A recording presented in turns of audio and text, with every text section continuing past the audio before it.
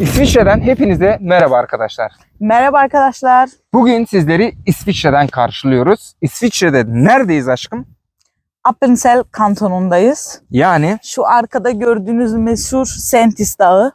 yani 2500 metre yüksekliğinde. yani Biraz okulda öğrendiğim bilgilerle şey yapayım. Ne diyoruz ona? Övüneyim.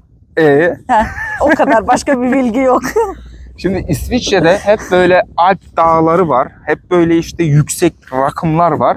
Biz hep böyle yerlerde çekiyorduk videolarımızı. Bugün dedik ki İsviçre ile Almanya'yı kıyaslayacağız. Böyle Evet. bir video içeriğimiz var. Dedik ki bari İsviçre'nin böyle güzel bir doğasına gelelim ki takipçilerimize İsviçre Neden Almanca, Almanya değil de İsviçre? Aynen. Şimdi sadece eminim Almanya'da da çok güzel yerler vardır ama hani İsviçre kadar olamaz arkadaşlar. Gümrüğü Almanya'da hani geçiyorsunuz böyle Almanya'ya geçtiğinizde her yer çöp içinde. Yani Alman Almanya'yı İsviçre ile O kıyaslarsanız. kadar da değil. Yok, ama, ama evet. gerçekten öyle. Almanya'dan da İsviçre'ye geldiğiniz zaman her yer böyle prille yıkanmış gibi böyle gördüğünüz gibi zaten. Civo'nun babası dediği gibi bir haftadır buradayım ayakkabılarım Biz de kirlenmiyor. şu- Geceleri yolları çamaşır suyla mı temizliyorlar diyordu hatırlıyor evet, musun? Evet. Ama yani gerçekten ben İsviçre'ye geldiğimde benim de çok garibime gitmişti. Yani nasıl olur da her yer böyle tertemiz olur. Bu çayırlarda insan inek olası geliyor otlanmak için. Hani da gerçekten kim demişti? kaynanan demiş. Benim annem demişti. Evet.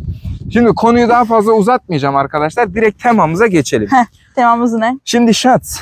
Şats demek as a- hani Türkçesi de aşkım demek yani. Yani. O yüzden hani Şats. biraz da bir bilgi verelim size.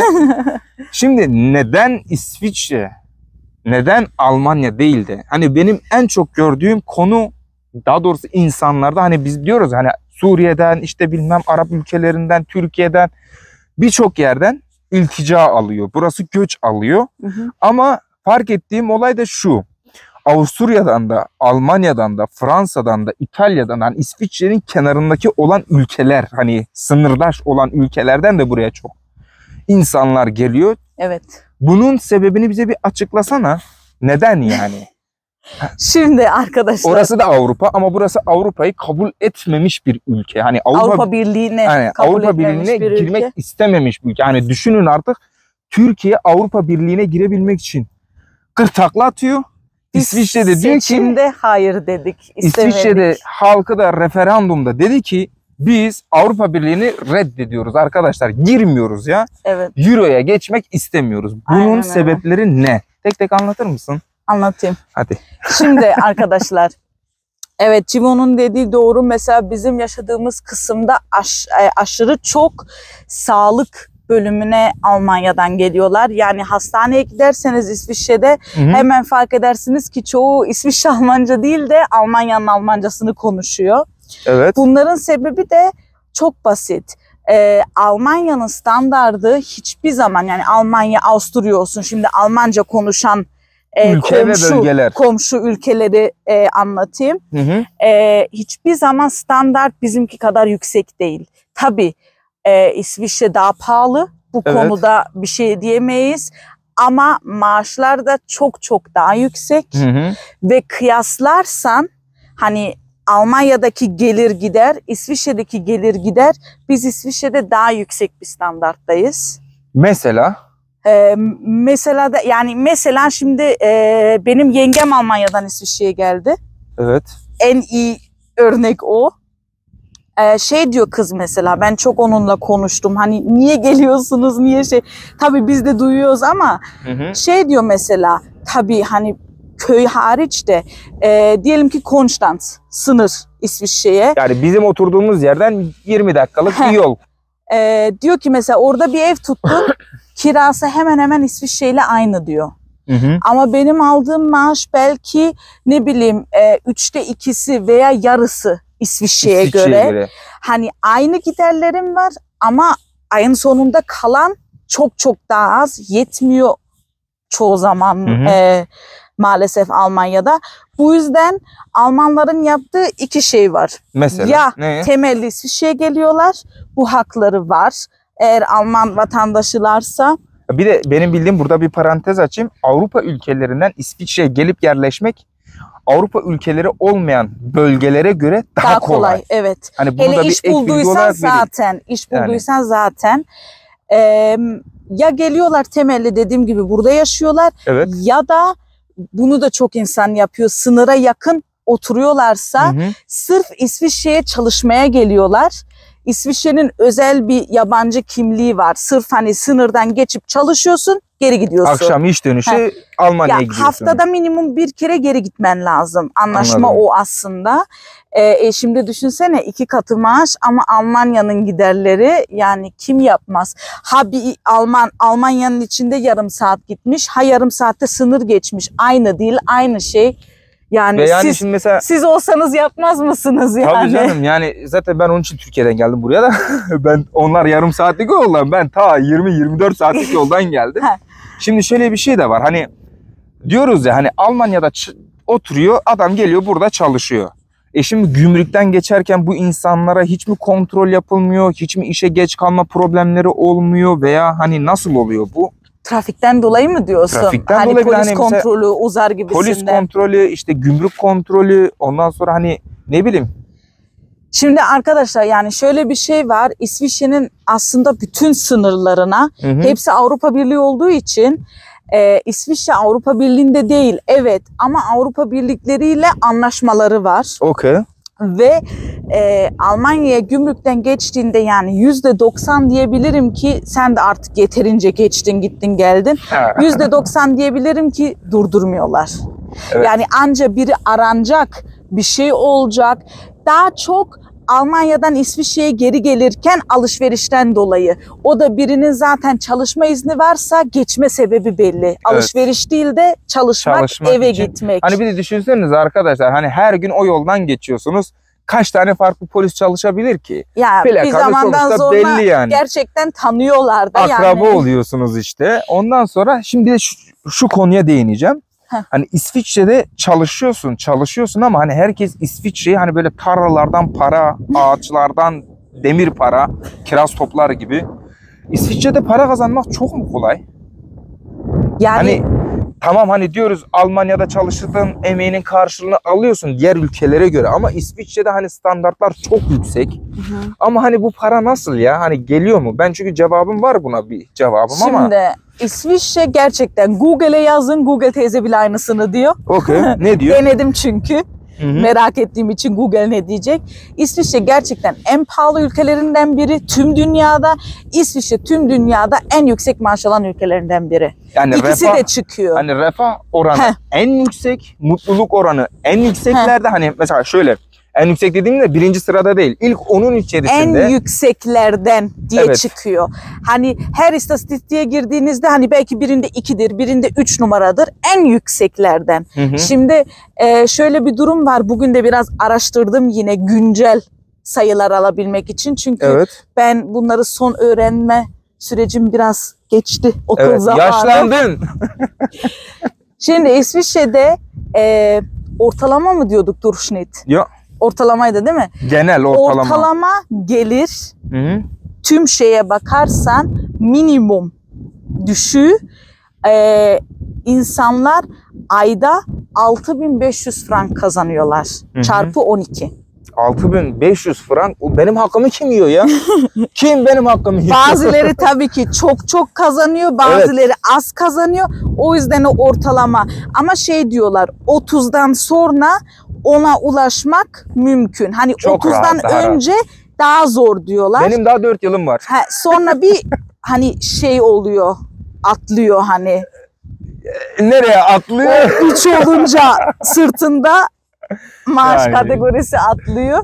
Yani şimdi Almanya'da duyuyoruz çevremizden de akrabalarımızdan da maaşlarını ve gerçekten İsviçre'ye göre az. O yüzden evet çok kazanıyoruz ama dürüst olmak lazım. Almanya'da çalışma saatleri daha az İsviçre'ye göre. Yani ben banka için kıyaslayabilirim. Çünkü Hı hı. bizim Almanya'dan gelen arkadaşlarımız da oluyordu. Mesela ben haftada 42 saat çalışıyorum. Onlar Almanya'da 38 saat çalışıyorlar. Yani 4 saat daha az çalışıyorlar. Hı hı. Ama bu 4 saat için bu maaş farkı değil Ya yani. şimdi tabii ki Çünkü 4 ücret. saatte biz 2000 frank kazanmıyoruz yani. Bunu Şimdi düşünüyorlar. Bankada herkes zengin ama öyle değil. tabii yani şimdi şöyle bir şey var arkadaşlar. Ben bir tane Almanya'dan gelen bir tanesiyle de beraber çalışıyordum. Ona da söyledim. Hani dedim Almanya'da oturuyorsun. İsviçre'de niye çalışıyorsun? Aynı senin verdiğin cevapları verdi. Ben dedi tabii adam Türkçe bilmiyor. Hep Almanca konuşmaya Yani. çalışıyoruz kendisiyle. Ee, bu arada zaten biliyorsunuz ben Almanca işini çözdüm. İnşallah yakında videolarımız da gelecek. Şimdi adam diyor ki ya Almanya'da oturacağım. Hı. Almanya'da maksimum maksimum alacağım yani yaptığı işe göre alacağım maaş 2500 euro. Ve 2500 euronun içerisinde adamın sadece 1000-1200 euro aylık ev kirası var. Evet. Sadece hani kuru para ya 1200 euroyu sen bugün cebine 2500'e alıyorsun. Daha ATM'den çekiyorsun ya bismillah dışarıya çıkıyorsun ver bana 1200 diyor. Evet. 200'ü 300 artık evin giderleri şu bu. Aynen. 500 600 işte mutfak masrafları. Hı hı. Adam diyor ki benim cebime kalan 300 veya Evet. 400 euro ve ben bu maaşla bir ay boyunca çoluğuma, çocuğuma, kendime bakamam. Aynen. Ama diyor ben aynı işi İsviçre'de yapıyorum. İsviçre'de ortalama 6500 yani euro frank zaten aynı. Hemen hemen birebir. Biz bir, bir diyoruz yani. 6000 6500 euro maaş alıyorum diyor. Ve benim sabit giderlerim hep aynı. Evet. Ne, ne yapacaksın? Yani ev, ev sahibi Türkiye'deki gibi gelip demeyecek ki bana Sen İsviçre'de çalışıyorsun. Ben daha fazla kira istiyorum. %50 arttırdım. Önümüzdeki ay gelip %200 arttırdım. Öyle bir Yok, dünya öyle yok bir şey yok. arkadaşlar. Bizim koronada Hani- hatta kiraları düşürme hakkımız oldu. Türkiye'de yükselirken biz kiraları düşürdük. Evet işte yani bunların hepsini üst üste koyarsak ve bir de böyle güzel bir doğanın içerisinde Evet. hani şimdi tamam çalıştığınız zaman bu doğayı gezemiyorsunuz. O bir gerçek. 8 saat orada kalmanız gerekiyor artık kaç saat Haftada iki çalışıyorsunuz. gün izinlisin ama mecburi Tabii ki. yani. Hani Bir de çok önemli bir şey demek istiyorum. Sonra demesinler siz farklı şeyler kıyaslıyorsunuz. Bu önemli bir bilgi. Bir şey daha var Almanya'da çok farklı olan. Hı hı. Onların maaşından sağlık sigortası direkt kesiliyor. İsviçre'de kesilmiyor.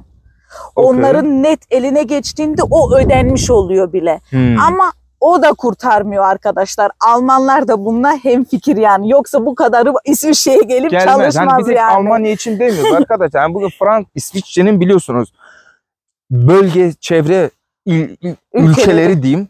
Çevre ülkelerinde işte İtalya'dan İsviçre'ye gelip çalışıyorlar. Evet İtalya İtalyanlar bölgesine. İtal e, İsviçre'ye gelip çalışıyorlar. Dilleri aynı olduğu için sorun olmuyor.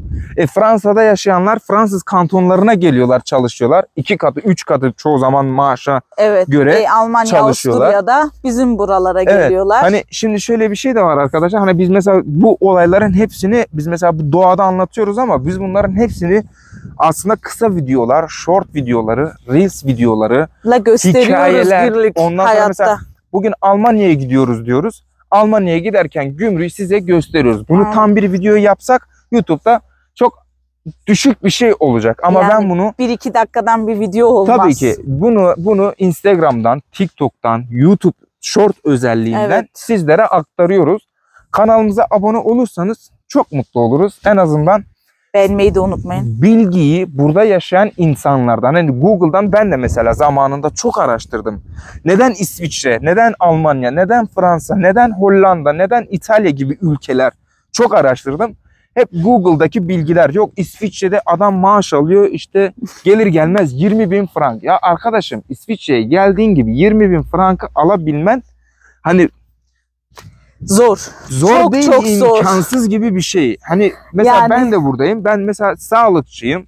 İsviçre'deki yani Türkiye'deki diplomalarım burada geçerli geçerli ama arkadaşlar ben bu işi yapabilmem için insanların dilini ana dilim gibi bilmem Evet. gerekiyor. Nasıl? Düşünsenize hastanede Ha. bir şey yanlış anladı. Sonuçta yani Adam gitti. Vertik. Sonuçta yani Ha, bitti bir yani. e, şu an e, şeyde marangozdaki gibi değil ki diyesin ha tamam çöpe atalım yenisi. biraz para gitti. Tabii o ki. bir hayat sonuçta yani. Hani ondan dolayı hani şimdi şöyle bir şey var. Her zorluklar hani her başlangıçlar zorlukları da beraberinde getirir. Tabii ki. Ama sonuç itibariyle imkansız değil arkadaşlar. Ne İsviçre'de ne Almanya'da artık nereyi hayal ediyorsanız imkansız değil. Son zamanlarda görüyorsunuz Türkiye'den çok göç var yurt Evet. dışına. Hani bunların hepsinde kimileri çok iyi video içeriği yapıyorlar. Kimileri çok iyi e, özetleme özetlerle, örneklerle anlatıyorlar. Kimileri Google bilgileriyle araştırıyorlar, e, anlatıyorlar. Kimileri işte bizim gibi sizi her hafta başka bir yere götürüyor. Hani biz de bunlardan biri olarak İsviçre'yi, hayatını sizlere tanıtmaya elimizden geldiği kadarıyla çalışıyoruz. Arkadaşlar kendinize iyi bakın. Hoşça kalın Bir sonraki arkadaşlar. videoda görüşürüz.